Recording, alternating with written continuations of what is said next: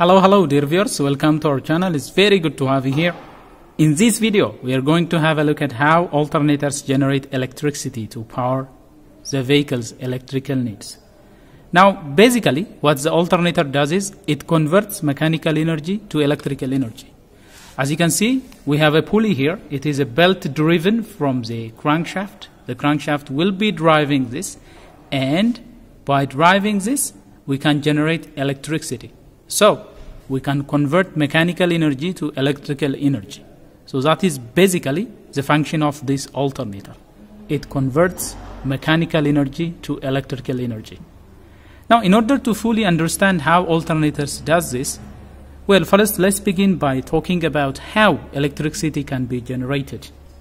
Well, let's have a look at this copper conductor, for example. This is a very tiny copper coil, I mean a copper conductor. Now, this copper conductor, it is made up of millions and billions of electrons. Now, the very good thing about conductors, they have free electrons. There are electrons now that are randomly traveling through this conductor. Around their atom, electrons are revolving continuously in a random direction on these copper conductor atoms. Now, that is from your physics knowledge. You know that in every conductor, there are electrons. Now, those electrons are freely revolving around their atom. We have millions and billions of electrons in this tiny copper conductor. Now, there is one thing about copper. Now, there is one thing, one, there is one particular behavior that we wonder about electrons. Electrons, besides having electrical property, they also have tiny magnetic property, which means encircling every electron, there is a weak magnetic field. Now, that is a basic in order to understand alternator function. That is a basic key point. Remember this revolving, encircling every electron, there is a magnetism. Now, that magnetism is very tiny.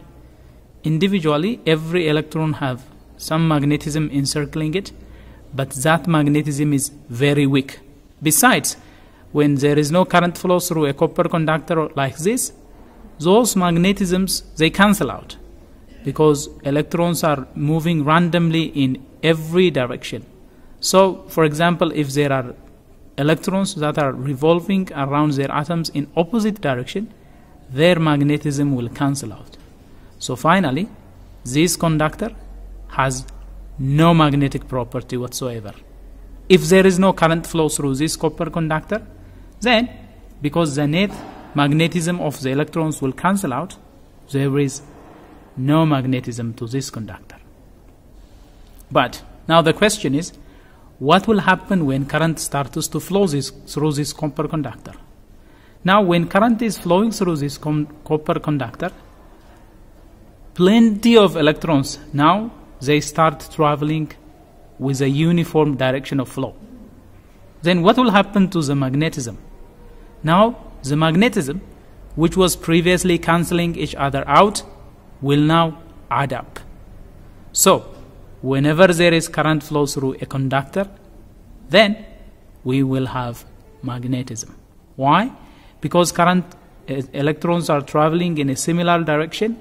Say, for example, if electrons are traveling from this point to this point, now those billions of electrons that are traveling in a similar direction will contribute tiny magnetic field which is to be added up because they are aligned in a similar direction.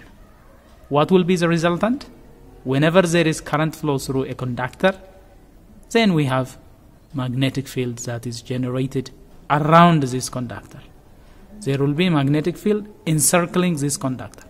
When electrons are traveling in a mass, then there will be magnetism that is encircling through this conductor. Well, the direction of the magnetic field will be determined by the right hand rule. Now, what will happen to this copper conductor when a magnet is brought closer to the copper conductor? This is a magnet, for example. What will happen to those electrons when a magnet is brought closer? Whenever we bring these magnets together, there will be an interaction. Now this is a magnet, this is also another magnet. Now what will happen when this magnet is brought closer to this? Look what is happening. See? Depending on the polarity, when one magnet is brought closer to the other magnet, then we have a force that is moving the other magnet. Depending on the polarity, it could either be repulsion or it could be attraction. So, the idea, the idea is whenever two magnets are brought close together, there is a reaction between, there is an interaction between those two magnets. Now, in a similar fashion, let's bring this co magnet closer to a conductor. Now, what will happen? Well, what happens is because the electrons have magnetic property that is encircling them, whenever a magnet is brought closer to a conductor, those electrons they will migrate to one side. Why? Because whenever magnets are brought together, we have said there is an interaction. In a similar fashion, whenever a magnetic field is brought closer to a conductor, those electrons, because they have magnetic property, they will be affected by the incoming magnetic field. They will either be attracted or they will be repelled to one direction. Let's say, for example, I brought this magnet closer to this conductor. Let's say electrons are migrating to this side. Now, due to the motion of this magnet, the electrons, let's say they have they are repelled to this direction. So what will happen? Those free electrons will migrate to this side. So we have accumulation of electrons on this point where we have scarcity of electrons at this end. What will be the resultant? This end will have plenty of electrons, it will be negatively charged, and this end, because it has a scarcity of electrons, it will be positively charged. So by simply bringing this magnet closer to this conductor, we have generated a potential difference across these two points. So that is how electricity can be generated by using magnetic field. So magnetism can generate electricity. Now what will happen if I withdraw this magnet and pull it away from this? Electrons which were previously repelled to that side, now due to the motion of this magnet, they will be attracted to this side again. So what will happen? They will migrate from this end to this end. Now we have accumulation of electrons on this end and we have scarcity of electrons on this end. This will become positively charged and this become negatively charged. Then what do we have? We have potential difference between these two points. What do we call a potential difference? Electric potential difference is called voltage. So we have voltage induced on this conductor. So that is a basic principle. It's a basic principle in understanding how electricity is generated by using magnetism. That is the main thing.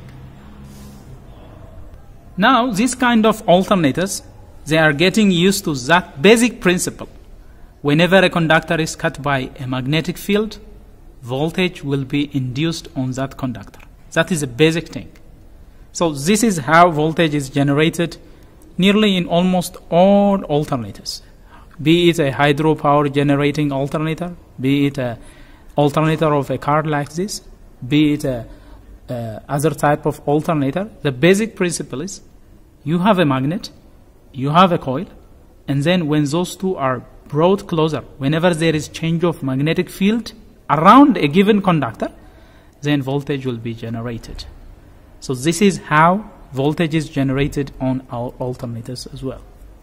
Now, in order to perform that task, the alternator requires basic components. For example, we have a rotor here. This is a rotor, and we have a stator here. Now, we have said that for electricity generation, we need two things.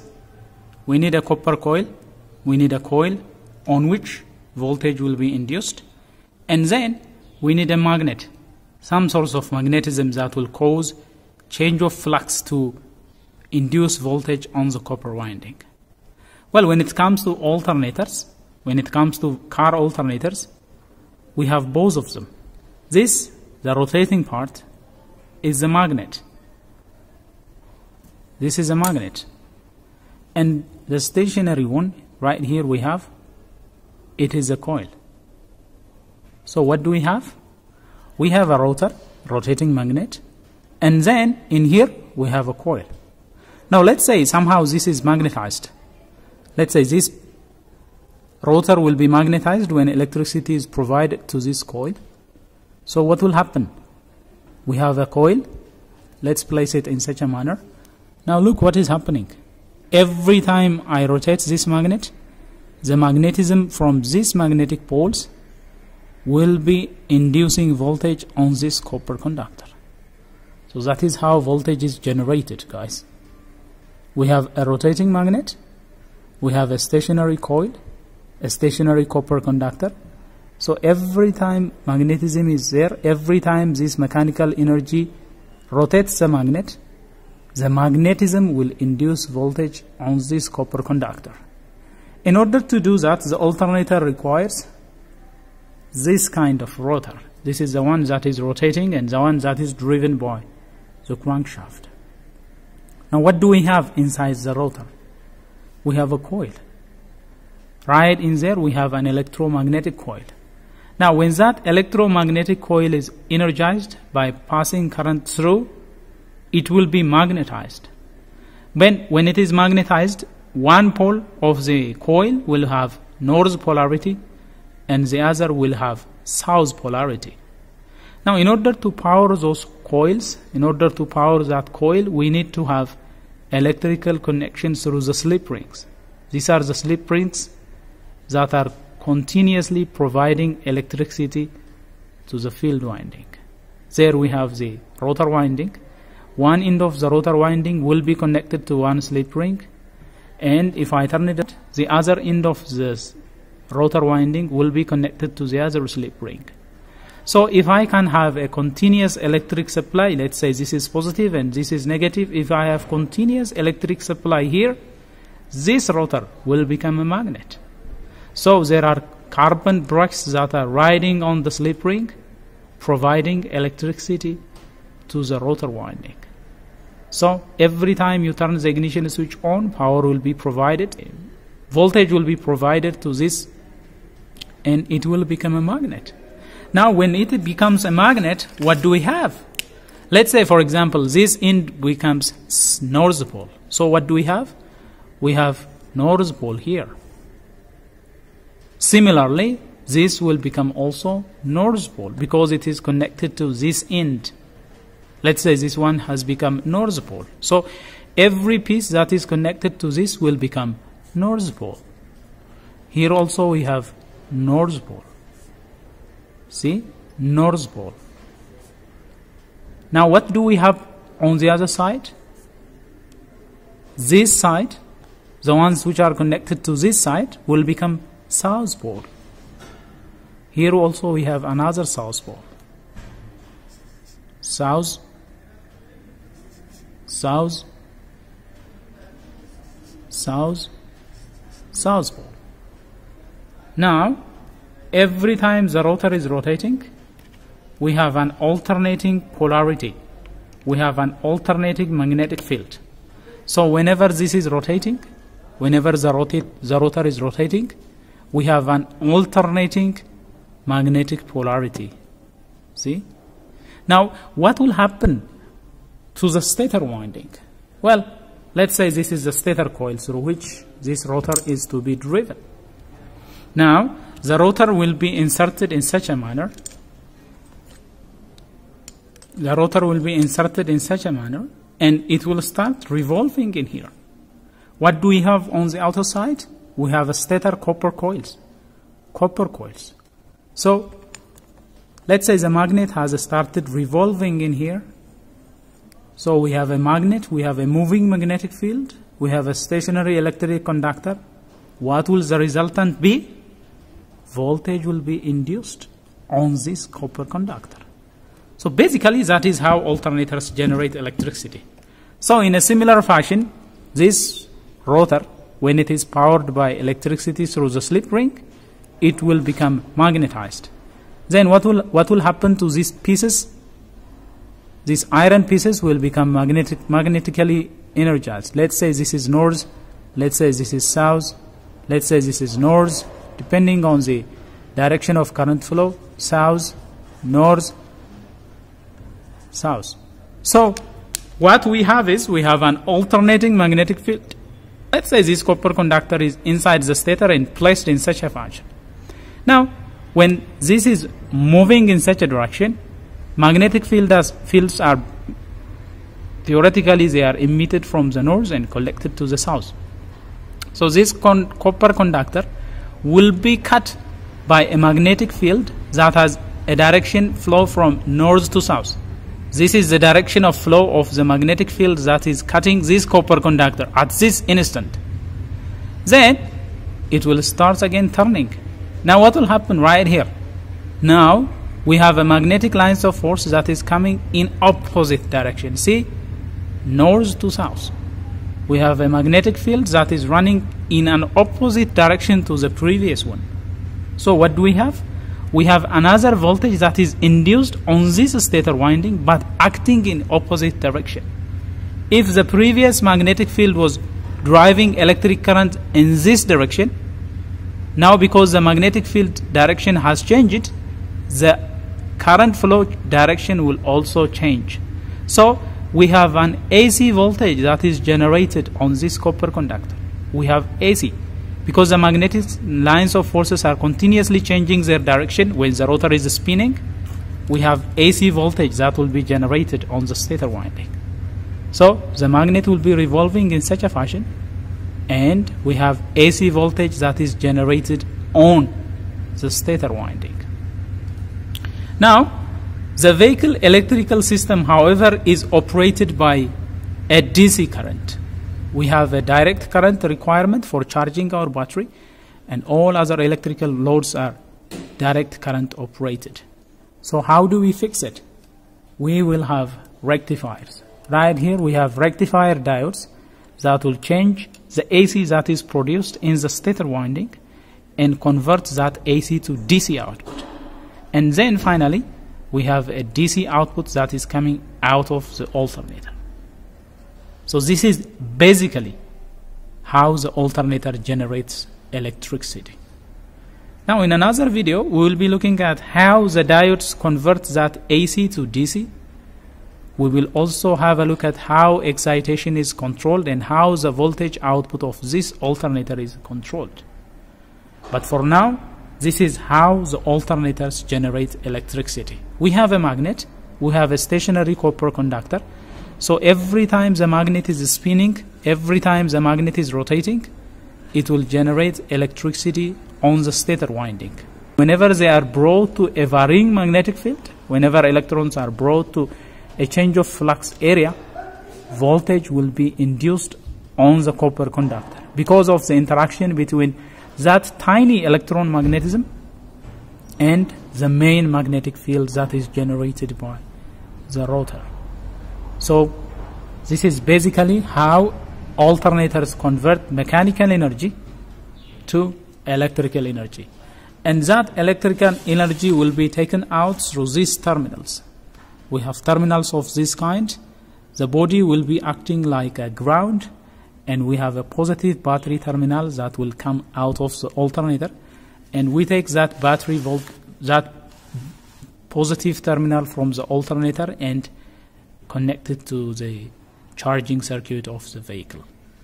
Well, if you like this video, please smash the like button. And uh, if you have any comment, any suggestion on how this video went, please leave it in the comment below. And if you have any idea on which you want me to make video, if you have any comment regarding the videos that we are presenting, please leave a comment in the comment section below. Well, thank you for watching. If you are new to this channel, don't forget to subscribe and turn on notifications so that you'll be notified whenever we come up with another video. Till then, stay safe.